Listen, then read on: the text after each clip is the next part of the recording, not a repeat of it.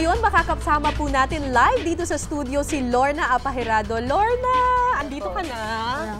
Thank you po. Okay, anong pakiramdam mo nung nakauwi ka na finally sa bansa? Parang hindi ko po maano po kung anong nararamdaman ko po. Basta po nang nakita ko po sila, ang saya-saya ko po. Oo, oo, oo. Nung nakakapanayam ka namin noon sa Bahrain, i-describe mo nga. Kasi sa Skype medyo hindi ko masyadong mara- maramdaman pa kung ano yung kaba ninyo eh. Pero alam ko, pinakita mo sa akin yung kinakain nyo. Parang dalawang French Opo. bread na lang.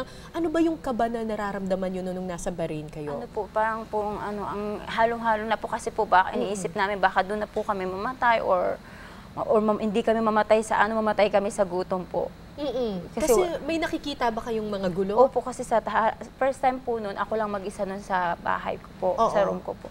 Nung pag one time, andun po yung nangyari sa tapat niya, nandun yung gulo talaga, yung pinagpapalo nila yung mga iba't ibang lahi. Oo, mga Bangladeshi daw Yeah, ata mga yung... Bangladesh, lalo na pong Bangladesh, pinag-aano talaga nila. As in talagang... As in po, lumalaban na po yung mga Bangladesh pero wala po silang magawa kasi po marami po yung mga ano doon eh, yung mga taga Bahrain po. Oo, tapos ikaw, hindi ka na bumaba. Hindi na po. Ayun, tinawagan ko na po yung kasama ko sa Ate Mary Jean. Ate Mary Jean, punta ka dito kasi mag kasi marami na yung ganito ganyan. May isa pong Pilipino, sinamahan siya kasi hindi po siya hindi po siya pinuntahan ng transport namin eh. Mm-mm, mm-mm. Kaya ang ginawa nung isa naming kabayang lalaki yung umuwi rin po, sinundo po siya doon sa kabila, sa trabaho niya na stranded po siya doon. Tapos wala raw kayong makain tatlong araw. Opo, wala po talaga. Wala kayong stock na pagkain? Wala po. Kasi yung, yung amo po namin, hindi po, wala po kaming free food po. Sa amin lang po talaga yung. Ah, so nagtitiis kayo dun sa... Tinapay yun eh, yung pinakita mo sa akin dun sa Opo, Skype. tinapay lang po. Oo. Paano yun? Hati-hati Hati, kayo? oh, hati-hati po. Mm-mm, mm-mm. Nako, o tapos, anong ginawa ninyo? Paano bang nangyari dyan? Ah, humingi kayo ng tulong sa embassy. Opo, humingi po Mm-mm. kami na embassy. Kaso po yung embassy po, busy po yung line po, hindi po namin makontak. Oo, kasi ang hirap na ng komunikasyon Opo. nung, time na yun Kasi doon. So, ngayon, ah, bago ka umalis, kumusta yung mga Pilipino na nandoon ngayon sa Bahrain? Ayun May po. balita ka ba sa kanila? Ayun po, lagi po silang nasa bahay kasi po takot rin po sila. Wala po silang trabaho, wala rin po mga salary. Gusto man nilang umuwi, wala po silang pambili ng ticket. Mhm. So, anong mensahe mo para sa gobyerno natin na siguro dapat tulungan pa yung ibang mga Pilipino na iwan pa sa Bahrain? Opo, sana po matulungan niyo po yung mga kasama ko doon, lalo may mga kakilala ko po, lahat po ng Pilipina doon. Kasi kawawa po sila eh. Mm-mm. Kawawa, lang, kawawa din po sila sa mga amo nila, sa mga, lalo na po sa mga nangyari po sa Bahrain. Okay, ang nagbayad ng ticket mo pa uwi, sino? Yung ano ko po, yung sponsor ko po. Yung employer mo? Opo. Ay, buti naman binayaran ng employer Opo, kasi mo. po natakot po siya eh, na ano na po, parang lumabas na sa TV, parang Na media na kasi. Kasi, na. Oo. Nung time na po nasa embassy na po kami, Mm-mm. ayaw niya po makipag-ugnayan po sa amin. Parang Mm-mm.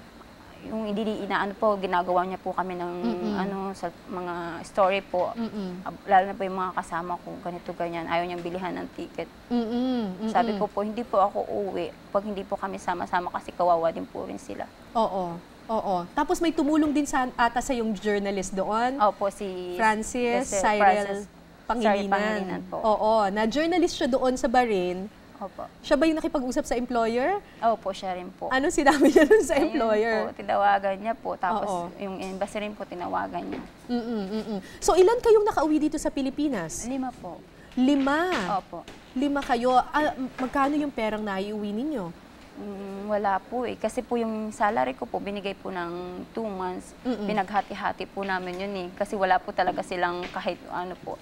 Oo, ah, mga kaibigan, si Lorna po, umuwi siya dito, pero siya lang yung binigyan ng salary ng kanilang employer. Opo. Yung apat mong kasamahan pa, Mm, Wala walang po. binigay na Opo. anumang salary. Opo. So, ang ginawa nito si Lorna, hin- ang bait mo naman, hinati-hati mo yung, Yung salary yung ko po salary mo. Na two months po.